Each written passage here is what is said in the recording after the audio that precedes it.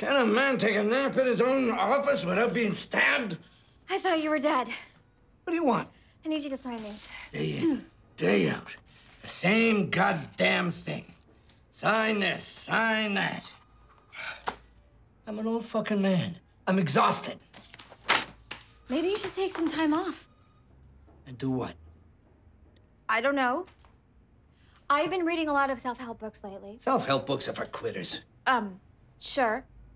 But they all asked the very important question. If you died tomorrow, what would be your biggest regret? Probably that I just fucking died. Well, see, maybe you should make a list. All the things that you wanted to do before you, you know. I could even help you with the tricky ones. Don't kid yourself. They're all gonna be fucking tricky.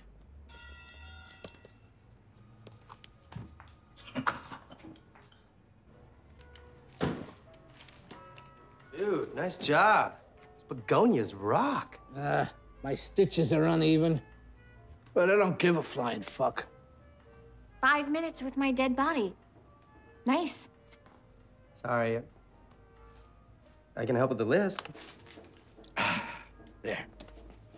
Done. That's the last thing. No. There's one more. Let's go. Don't worry about it. I'll take it from here.